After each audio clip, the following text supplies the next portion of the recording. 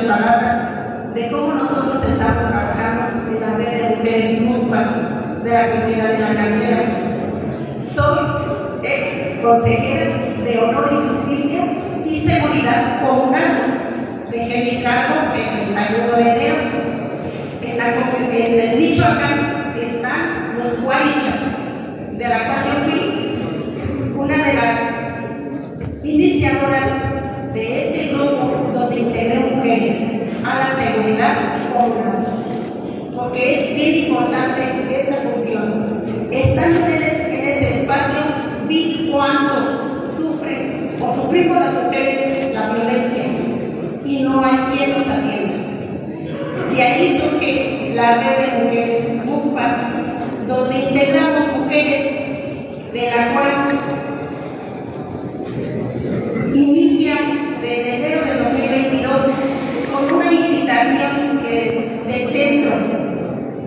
Estatal de Prevención de Ley de Participación Ciudadana del Secretario Ejecutivo del Sistema Estatal de Seguridad Pública, en coordinación conmigo como consejera de Honor y Justicia.